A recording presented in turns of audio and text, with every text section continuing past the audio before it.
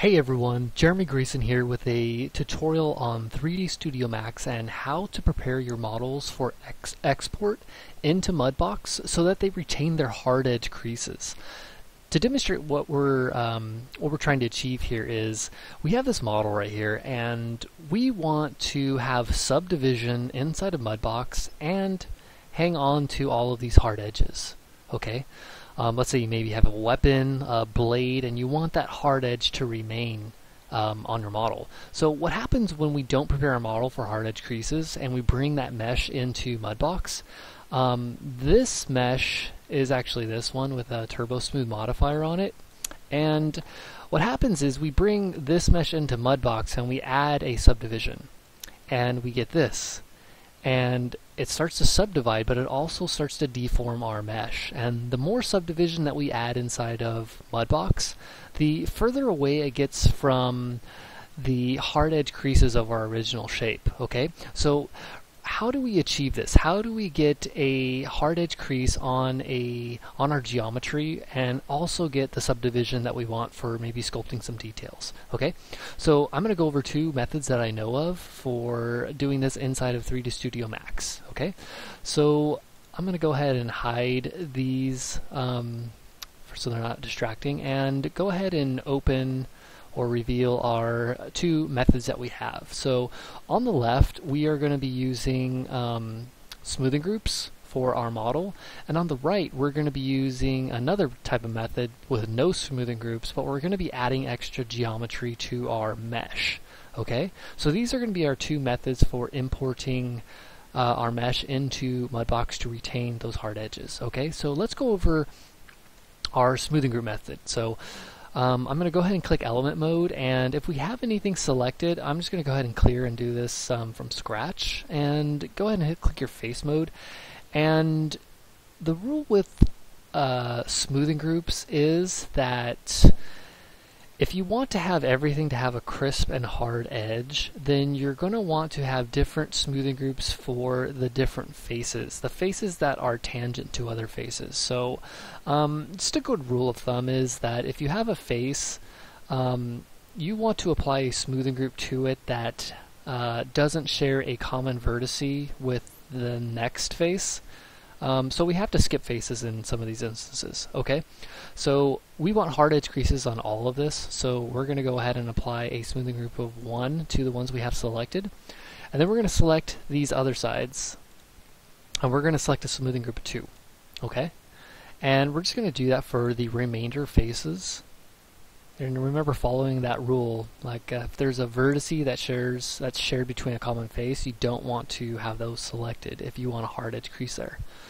And we are going to select a uh, smoothing group of three, and these are the last two, so four. Okay, so this is our smoothing group option, and this one is going to be our non-smoothing group option. I don't believe I have smoothing groups attached. I do. Let's clear all, just so we're not uh, accidentally selecting smoothing groups. Okay, so we want to apply a turbo smooth modifier to both of these to demonstrate what's going to happen inside a Mudbox um, when we start to add subdivisions inside Mudbox. But we can demonstrate this uh, quickly inside of 3D Studio Max. So with both of these selected, let's go ahead and apply a turbo smooth modifier to them. Okay, and you can see here on our smoothing group option, just by default, um, it doesn't have any of these edge loops, so it's going to automatically deform this way. Um, but there's an option inside of our um, inside of our turbo smooth um, modifier here, and it's surface parameters. And if we click the smoothing groups, then we can see what is going to happen inside a Mudbox um, when we have our hard edge creases by uh, defined by our smoothing groups. Um, and we're getting that subdivision that we're looking for. So both of these are two different methods for um, bringing your hard edge models into Mudbox. And just to take a quick look at both of these, both of these have a, a subdivision or an iteration of just one, and you can kind of see the, what's going on with the geometry a little bit here. Um, where we added the extra geometry um, to retain our shape, we're getting this type of uh, topology inside of uh, or, or, on our model, and that's exactly what's going to happen inside a Mudbox.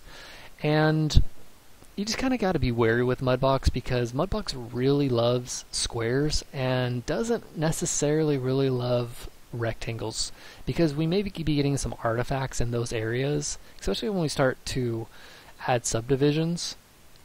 You can see here that we're getting perfect squares, and here the squares are turning into rectangles the closer we get to those edges. So Mudbox can handle these types of rectangles. You really want to be careful of uh, rectangles that are very long and skinny because those are definitely going to be creating artifacts. So just try and keep your meshes as close to squares as possible um, for this hard edge um, for this hard edge process. And actually for any import that you bring into Mudbox, you really want to keep it as close to squares if you can if you can manage that.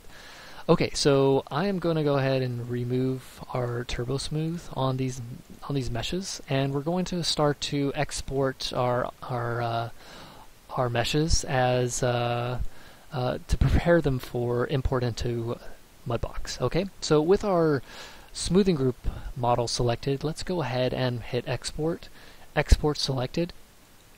And what we want to do is we want to export anything with smoothing groups as an FBX, okay? Typically we have OBJ as an option for import into Mudbox, but and we also can export as an FBX. The problem with OBJ with um, smoothing groups is that it doesn't have any options for Mudbox to recognize those smoothing groups, but FBX definitely does. So we're going to select an FBX for our smoothing group, and we're going to call it uh, box SG, box smoothing group, and we're going to save it as that. So go ahead and click save. And I already created this previously, so I'm just going to overwrite that file. And here in our next rollout, our FBX export, um, there's going to be a few things that we're going to want to make sure that we have and don't have. Um, what we are definitely going to want to have is smoothing groups for um, exporting our FBX with our smoothing groups. And we want to make sure that we do not have triangulate ticked. Okay, so we want to make sure that that one's unchecked. And we should be good for the rest of it. So um, scrolling down here to advanced options, um, and inside of our rollout we have units, axis, we can actually change this back to the default Y up. Just messing around with some settings. So in, under our advanced options under this rollout, go down to FBX file format and go ahead and make sure that um, our binary is going to be our default, but let's select ASCII we want that one. Okay. Um, go ahead and click OK, and that one has been saved. Okay, so this next one with our more uh, with more geometry, let's go ahead and save that one as an OBJ. So same process, export, export selected, and we want to save this as an OBJ instead of an FBX. And we're going to save this as box EG for extra geometry. Okay, go ahead and click save, and I already made that one as well, so I'm going to replace it. And make sure that our faces set to quads right here.